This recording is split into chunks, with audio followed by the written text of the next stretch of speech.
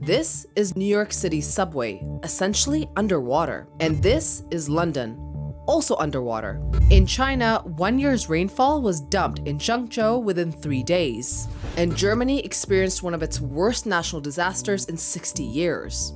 All of this happened in 2021. It is an emergency, not just for one particular country. Cities and towns across the United States and the world are drowning. But why? Is it just because of the climate crisis? Or is there something else also at play? I think we can see how our infrastructure is completely unprepared uh, to deal with the effects of a changing climate.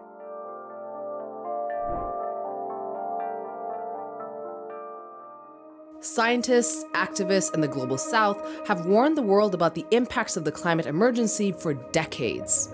If you don't know how to fix it, please stop breaking it. It wasn't until recent years that the US started feeling the impacts more severely. Images like these are becoming more and more common. Experts agree that global heating has made extreme weather more intense and frequent. How? Well, in short, heat trapping gases have warmed the climate, and warmer air can hold more water vapor.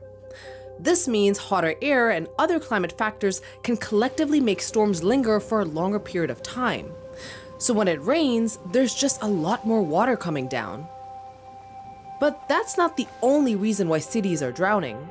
Extreme storms don't always have to lead to flooding and destruction.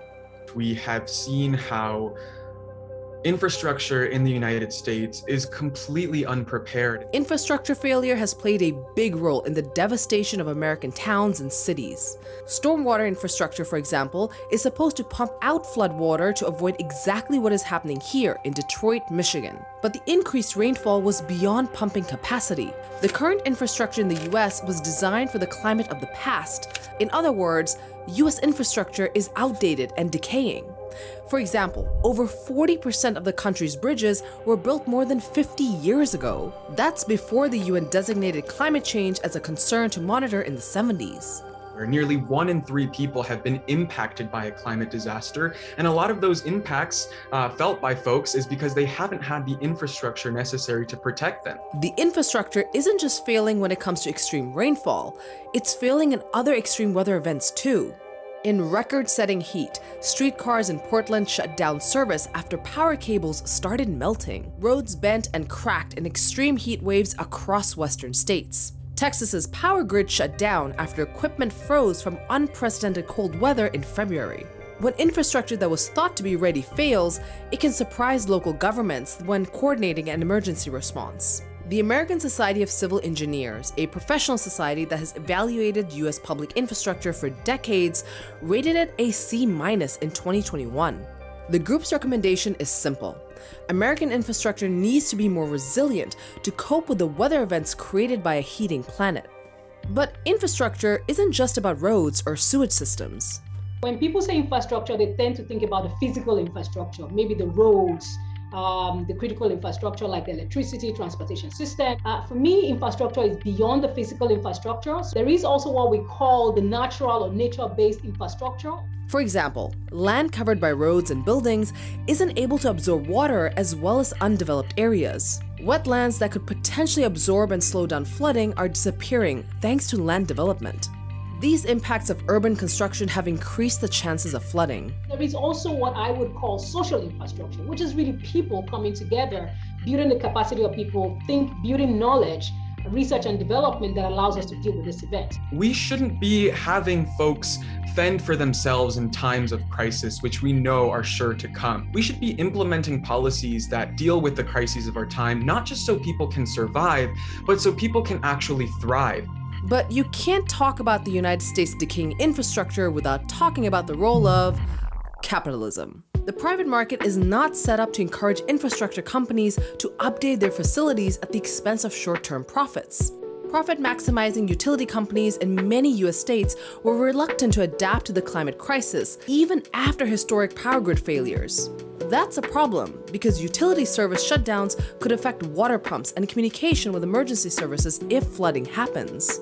In 2021, more than 200 people died from the cold storm and blackouts in Texas. Without essential utility services, people are left defenseless in extreme weather. For decades, the world's best scientists have told us how grave the climate crisis is.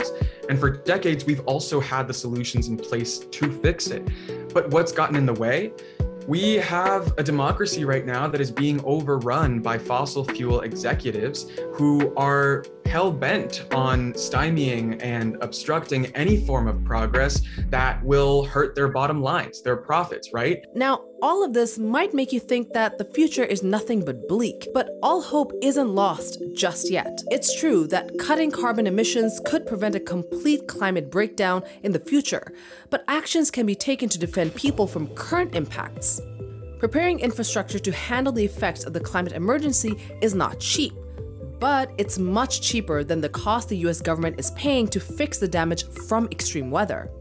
Between 2017 and 2019, the US government spent an estimated average $46 billion every year to recover from disasters.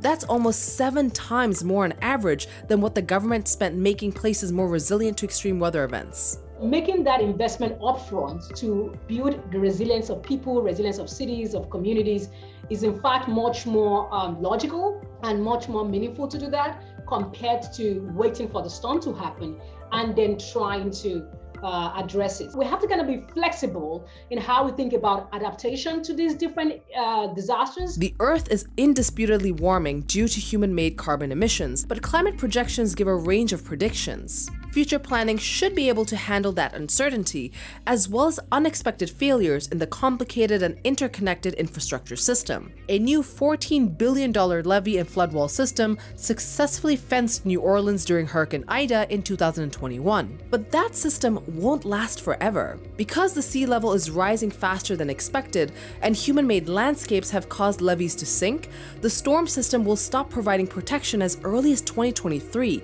five years after its completion. And in another town, 20 miles away from New Orleans, floods caused by Ida already toppled a levee, forcing residents to evacuate at the last minute. We need to move faster because the storm, the floods, the wildfire, the heat waves, they are happening faster than our policy can catch up. And as we're investing in the physical infrastructure needed to deal with this event, we need to also continue to invest in the nature-based solutions, those type of solutions that are actually much more sustainable uh, that are not likely to just break down or that are not likely to cause newer problems. Like most aspects of life in the United States, the level of impact of the climate emergency depends on where you live and your racial and socioeconomic background.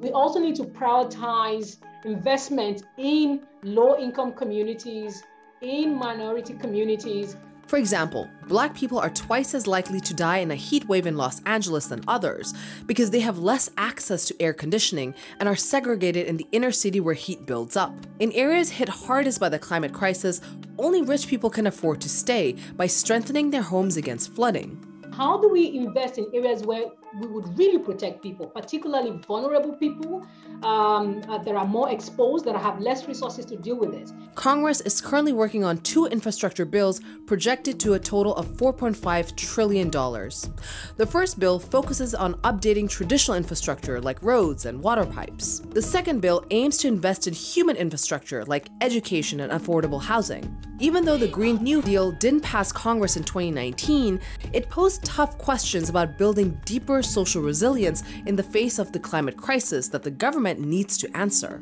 So, when we talk about what just policy, what equitable policy, what resilient policy can do for the lives of working people, we're talking about tapping into the imagination and promises that have long been spoken of by various politicians, but never actually delivered. We don't want just a couple corporations benefiting from uh, the rebuilding of infrastructure. We want workers to benefit. That means forcing our government to create millions of good paying union jobs to actualize our infrastructure, to build stronger homes that can protect from floods, from wildfires, to invent new industries and invent new technologies that can reduce carbon and uh, protect us from the climate crisis. We have to kind of tie this issue of energy transition, racial justice, climate justice, education, um, innovation, science and development.